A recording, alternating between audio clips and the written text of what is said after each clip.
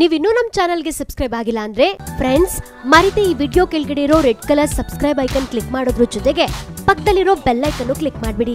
ಆಗ ಫ್ರೀಯಾಗಿ ಎಲ್ಲಾ ಅಪ್ಡೇಟ್ಸ್ ಫಸ್ಟ್ ನಿಮ್ಗೆ ಸಿಕ್ಬಿಡುತ್ತೆ ಜೆಡಿಎಸ್ ರಾಜ್ಯಾಧ್ಯಕ್ಷರಾದ ಎಚ್ ಡಿ ಕುಮಾರಸ್ವಾಮಿ ಬುಧವಾರ ನೂತನ ಮುಖ್ಯಮಂತ್ರಿಯಾಗಿ ಪ್ರಮಾಣ ವಚನ ಸ್ವೀಕರಿಸಲು ಸರ್ವ ರೀತಿಯಲ್ಲೂ ಸಜ್ಜಾಗಿದ್ದಾರೆ.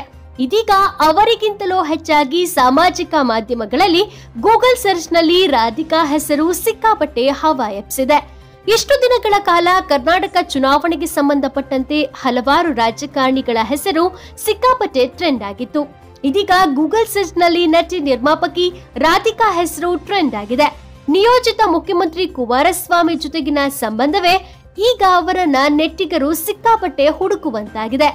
ಊಯಿಸ್ ರಾಧಿಕಾ ಅನ್ನೋದೇ ಟ್ರೆಂಡ್ ಆಗಿರೋ ಕೀವರ್ಡ್ ಎರಡು ಸಾವಿರದಲ್ಲಿ ಬೆಳ್ಳಿ ಪರದೆಗೆ ಅಡಿಯಿಟ್ಟ ರಾಧಿಕಾ ಬಳಿಕ ಹಂತ ಹಂತವಾಗಿ ಚಿತ್ರರಂಗದಲ್ಲಿ ಮೇಲೇರಿದ್ದು ಗೊತ್ತೇ ಇದೆ. ತನ್ನ ಹದಿನಾರನೇ ವರ್ಷಕ್ಕೆ ನೀಲಮೇಘ ಶ್ಯಾಮ ಚಿತ್ರದಲ್ಲಿ ಬಣ್ಣ ಹಚ್ಚಿದ್ರು. ಪೂರ್ಣ ಪ್ರಮಾಣದ ನಾಯಕಿಯಾಗಿ ಮೊದಲು ಅಭಿನಯಿಸಿದ ಸಿನಿಮಾ ವಿಜಯ ರಾಘವೇಂದ್ರ ಜೊತೆಗಿನ ನಿನಗಾಗಿ.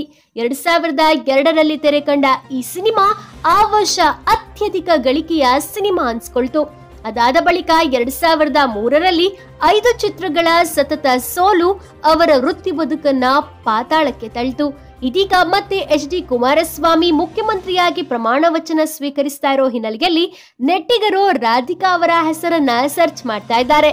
ರಾಧಿಕಾ ಯಾರು? ಉಯಿಸ್ ರಾಧಿಕಾ ಅಂತ ಹುಡುಕಾಟ ಆರಂಭಿಸಿದ್ದಾರೆ. ಓಕೆ ಫ್ರೆಂಡ್ಸ್ ಇದಾಗಿತ್ತು ಓಎಸ್ ರಾಧಿಕಾಗೆ ಸಂಬಂಧಪಟ್ಟಂತಹ ಸ್ಟೋರಿ ನೀವು ಕೂಡ ನಿಮ್ಮ ಅನಿಸಿಕೆ, ಅಭಿಪ್ರಾಯವನ್ನ ಏನೇ ಇದ್ರೂ ಮಿಸ್ ಮಾಡದೆ ಕಮೆಂಟ್ ಬಾಕ್ಸ್ ಅಲ್ಲಿ ಕಮೆಂಟ್ ಮಾಡಿ ತಿಳಿಸಿ. ಈ ವಿಡಿಯೋ ಇಷ್ಟ ಆಗಿದ್ರೆ ಒಂದು ಲೈಕ್ ಮಾಡಿ, ಈಗಲೇ ಎಲ್ಲಾ ಕಡೆ ಶೇರ್ ಮಾಡಿ. Thank you